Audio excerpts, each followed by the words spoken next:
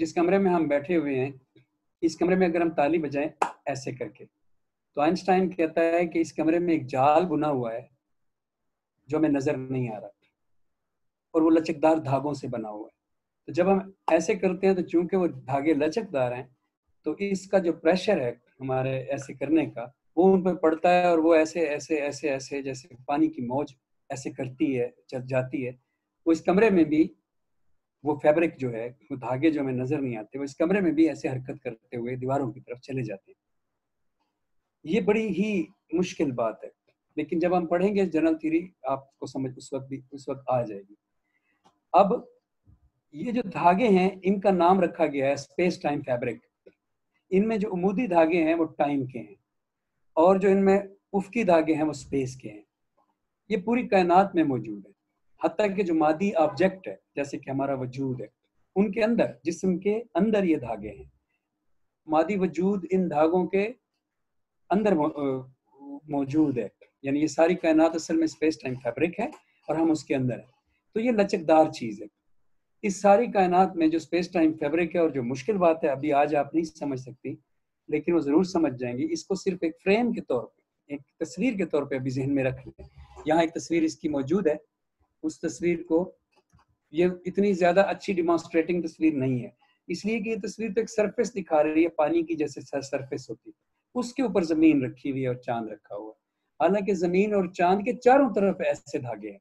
चारों चारों तरफ़, ऊपर भी, नीचे भी, दाएँ भी, बाएँ भी। ऐसी बननी चाहिए थी ये तस्वीर के जैसे पानी के अंदर आप छलांग लगा लें समंदर में और नीचे चले जाएँ और फिर जब आप हाथ ऐसे करें तो चारों तरफ़ आपके जो पानी ऊपर नीचे होगा।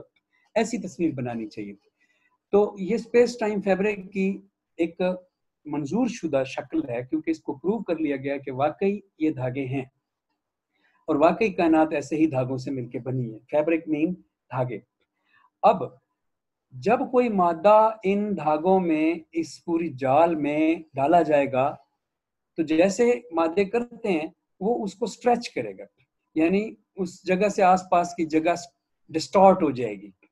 उसकी शेप आप सोच सकती है, जैसे आप सामने वाली तस्वीर में देखें कि जहाँ उसने रखी है ज़मीन तो वहाँ उसको कुआँ सा बना दिया है नीचे, और जहाँ चाँद रखा है, वहाँ भी। तो ये उस जगह में ऐसे शक्ल बना देगा। इसको कहते हैं matter tells space how to bend and space tells matter how to move ये एक याद कर ले, कुलिया है, इसका जनरल थ्री का, जो बहुत मशहूर है स्टूडेंट्स याद करते भी हैं। Matter tells space how to bend and space tells matter how to move जहाँ मैटर जाता है, उस जगह से स्पेस बेंड हो जाती है। लेकिन जिस जगह से बेंड हो जाती है स्पेस तो वो जगह ऐसी शक्ल इख्तियार कर लेती है कि अब मैटर उस पर मूव कर सकता है। जैसे हमारी ज़मीन एक गढ़े में है, ये जो ग्रेविटी है, ये पहले समझी जाती थी कि ये सूरज खींच रहा है, जैसे कोई सूरज से धागा निकला रस्सा निकला हुआ है और उसने ज़मीन को बांधा हुआ है और वो खींच रहा है रस्से से, बंधी हुई है। अब ये आइंस्टाइन की थ्योरी के बाद ग्रेविटी का नज़रिया बदल गया जैसे एक बाउल में, एक प्याले में हम एक गोली रखें, कांच की गोली, कंचा रखें और उस बाउल को ऐसे ऐसे अगर हम घुमाएँ तो वो गोली उसकी दीवारों पर चढ़ जाती है। ज़मीन हमारी सूरज के गिर्द इसलिए घूम रही है कि सूरज एक ऐसे गड़े में है जो स्पेस टाइम फैब्रिक का बाउल है। वो स्पेस टाइम फैब्रिक का वेल है, वो ग्रेविटी वेल है। उस वेल की जो दीवारें हैं, उन दीवारों पर ज़मीन की, ज़मीन का कंचा या ज़मीन का बंटा, वो उन दीवारों पर चढ़ा हुआ है। और अपने मोमेंटम की वजह से जो ज़मीन की रफ्तार है, वो उन पर चढ़ा चढ़ा घूम रहा है, जैसे मौत के कुएँ में घूमता है। जिस जगह पे ज़मीन का कंचा मौजूद है, उस जगह पे भी स्पेस टाइम फैब्रिक बेंड है बेंट है। उस जगह पे भी कुआँ मौजूद है। उस कुएँ में चाँद का जो कंचा है जो पार्टिकल है, वो घूम रहा है। चाँद की जगह भी ऐसे ही धंसी हुई है। तो एक कंकर भी कहीं होगा, मैंने तो ताली का भी बताया था तो एक कंकर भी कहीं होगा तो वहाँ पे भी थोड़ी सी स्पेस टाइम फैब्रिक बेंड होगी बेंट होगी। और उस जगह को कहेंगे ग्रेविटी डिम्पल तो इस थ्योरी को 1919 में प्रूव किया गया और उसके बाद से अब तक इसकी वजह से कई आलात बने, ये बात सच है कि हर जगह पे ग्रेविटी है। अब जहाँ मादा ज़्यादा होता है वहाँ गड़ा ज़्यादा पड़ेगा। मादा जहाँ ज़्यादा होगा या ज़्यादा भारी होगा। मादा कई दफ़ा ऐसी शक्ल में भी होता है कि खुद छोटा हो, लेकिन वज़न उसमें बहुत ज़्यादा हो। जैसे ज़मीन पे हम इस बात का सबूत पारे की शक्ल में देखते हैं कि पारे का एक कतरा भी हाथ पे रखें तो पता चलता है कि बहुत वजनी है। इसका मतलब उसकी कसाफत ज़्यादा है। अब जो उसमें वज़न आ गया है, उस वज़न की वजह से पारा स्पेस टाइम फैब्रिक को कपास के मुकाबले में ज़्यादा बेंड कर देगा। तो मादा ऐसा भी प्लैनेट्स में भी है कि प्लैनेट अपनी मकदार में तो शक्ल में तो छोटा हो, लेकिन ताकत में वज़न में बहुत भारी हो।